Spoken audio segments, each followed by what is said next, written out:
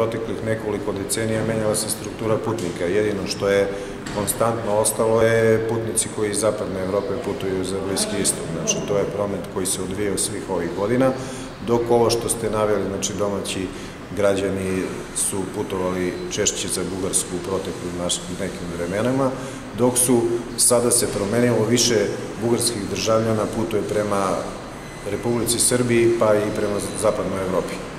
Koje su, da tako kažem, sva vremena su za sebe karakteristična. Kada je bilo za vaše ljude naj, najsloženije da se radi najteže, velike gužve, prelazi, U vreme nestašice, u vreme sankcija bilo je najteže raditi na graničnom prelazu Brajine, jer su svi ljudi pokušavali na neki način da se dovijaju i da e, obezbede za sebe neki prihod, prenoseći neku robu preko graničnog prelaza koja možda nije dozvoljena ili nije dozvoljena u tim količinama.